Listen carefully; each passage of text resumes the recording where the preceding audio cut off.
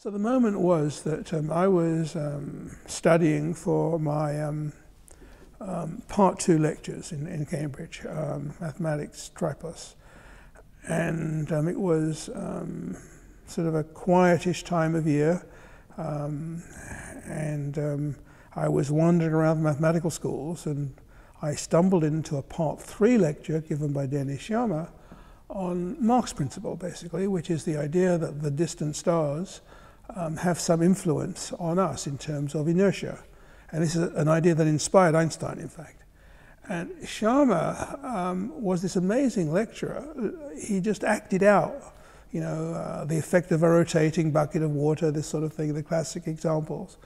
And uh, I, I, was spellbound and decided that um, this was it, you know, gravitation, cosmology, I, the distant stars. I, I, would, I wanted to know more about that. And at that point, I decided that cosmology was the thing I wanted to do.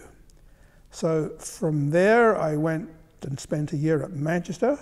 Um, I did a, a diploma type um, degree in astrophysics, and then got a fellowship to go to Harvard as a graduate student to my PhD with a cosmologist called David Layzer, who at the time was very well known for his um, radical views about cosmology. Um, he believed, for example, um, in a cold Big Bang. Um, this was just about the time when the radiation was being discovered. And so much of the time uh, that I was with him, he was trying to rationalize this away and think of ways to have a cold Big Bang that would produce radiation later on by starlight or something.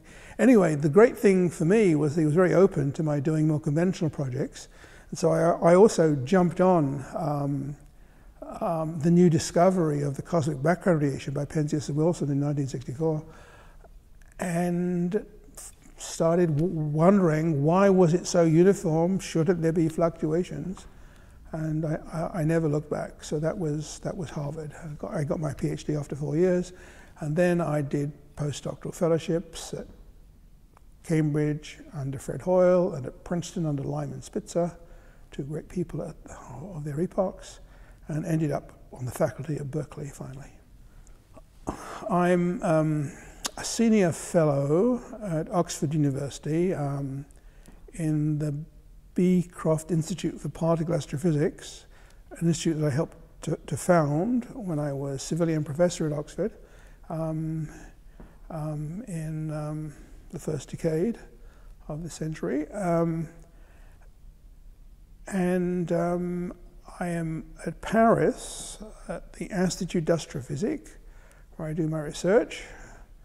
Um, and finally, for three months a year, I have a part time appointment at the Johns Hopkins University in Baltimore.